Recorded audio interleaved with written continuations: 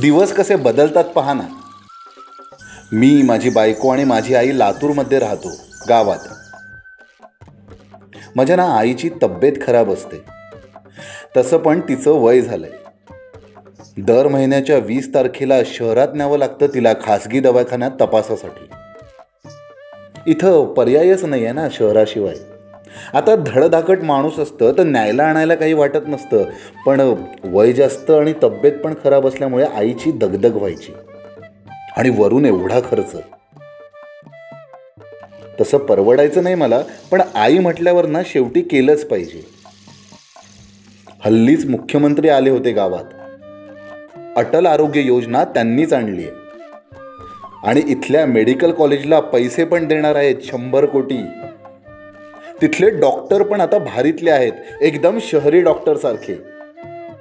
ह्या महिन्यापासून माझी आणि आईची फेरी वाचली शहरातली. आणि तेवढे थोडे पैसे पण वाचलेत. मला खर्च काही सहित यायला नाही. दुसरीकडे गेले असते तर खर्च आला असता. आता तर इथेच गावात सिव्हिल हॉस्पिटल पण बांधून देणार आहेत दोनशे खाटांवालं. हे एक बरं झालं. आता आईला इथल्या इथे घेऊन जायला बरं पडेल आणि सरकारी म्हटल्यावर खर्च पण कमी.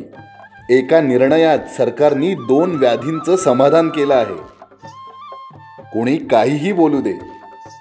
पण हे सरकार मला आता आणखीन आपलंसं वाटू लागलंय.